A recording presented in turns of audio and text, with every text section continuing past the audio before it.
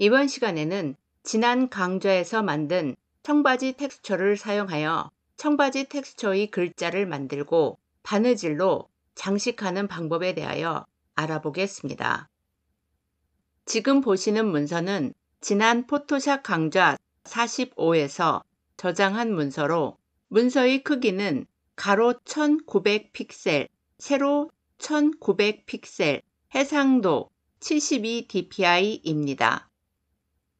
서체는 Eras Bold Italic, 스타일은 Regular, 서체 크기는 500포인트입니다.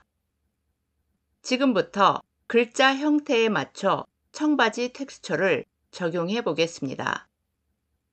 Layers 패널에서 컨트롤을 누른 상태로 Blue Jeans Text layer의 T thumbnail 아이콘을 클릭해 selection을 만듭니다. BJ Text layer의 Indicate Layer Visibility 사각형 아이콘을 클릭해 표시하고 BJ Text layer를 선택합니다. selection을 반전시키기 위해 Select, Inverse 메뉴를 선택하거나 또는 단축키 Shift, Ctrl, I를 누릅니다. Delete를 눌러 삭제하고 Ctrl D를 눌러 selection을 해제합니다. Blue Jeans Text layer의 눈 아이콘을 클릭해 숨깁니다. BJ Text layer의 오른쪽 빈 공간을 더블 클릭합니다. Layer Style 대화 상자 왼쪽에서 Stroke를 클릭합니다. 사이즈 10픽셀을 입력하고 포지션 drop-down 버튼을 클릭한 후 Outside를 선택합니다. 칼라 박스를 클릭합니다. Color Picker Stroke Color 대화 상자의 16진수 칼라 코드 입력란에 0, 3, 5, 2, B, 2를 입력한 후 OK를 클릭합니다. Layer Style 대화 상자에서 Drop Shadow를 클릭합니다.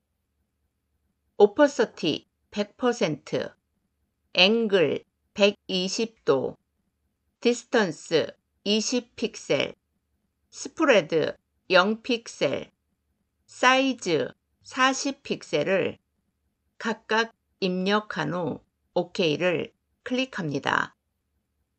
Brush Tool을 선택합니다.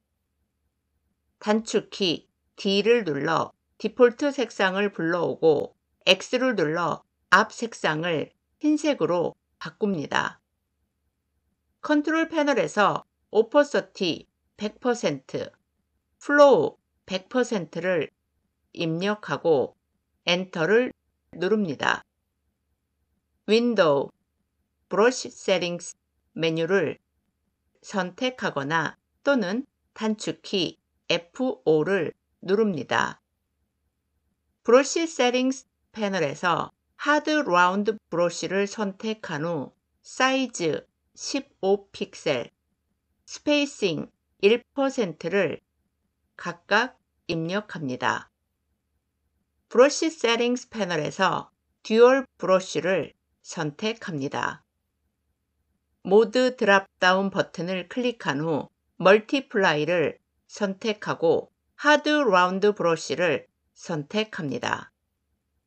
사이즈 5픽셀, Spacing 250%, Scatter 0%, 카운트 5를 각각 입력합니다. 컨트롤을 누르고 Layers 패널에서 BJ 텍스트 레이어의 썸네일을 클릭합니다. Brush Settings panel 아이콘을 클릭해 panel을 접습니다. 새로운 layer를 만들기 위해 Layers panel 하단에서 Create a New Layer 아이콘을 클릭합니다. Layer 1 이름을 더블 클릭한 후 Sewing을 입력하고 Enter를 누릅니다. Select, Modify, Contract 메뉴를 선택합니다. Contract Selection 대화 상자에서 Contract By에 15 pixels를 입력한 후 OK를 클릭합니다. selection의 크기가 15 픽셀만큼 줄어든 것을 볼 수 있습니다. Paths panel 탭을 클릭합니다. Paths panel 하단에서 Make Work Path from Selection 아이콘을 클릭합니다. Pen Tool을 선택합니다. 이미지 위에서 오른쪽 마우스를 클릭하고 Stroke Path를 선택합니다. Stroke Path 대화 상자에서 Tool drop-down 버튼을 클릭한 후 Brush를 선택하고 OK를 클릭합니다.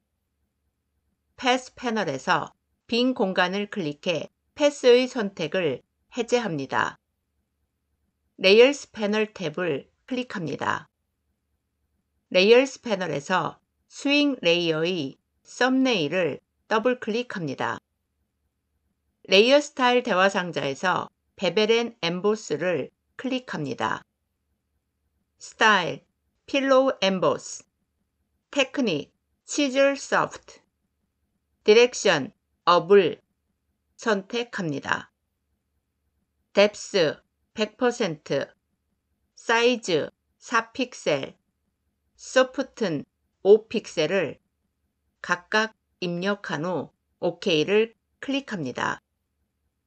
Layers panel에서 Shift를 누른 상태로 스윙 레이어와 BJ 텍스트 레이어를 함께 선택합니다.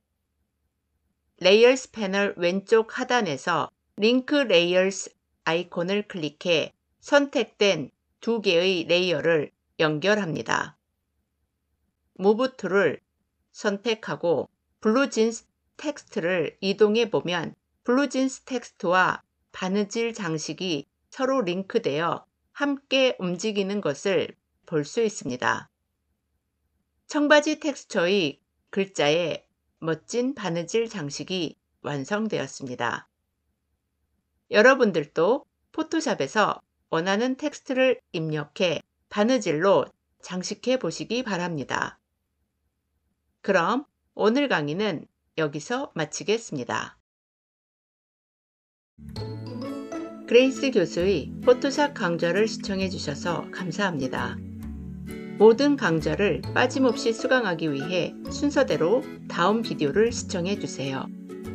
포토샵을 배우고 마스터하기 위해 구독과 좋아요 버튼을 눌러주세요.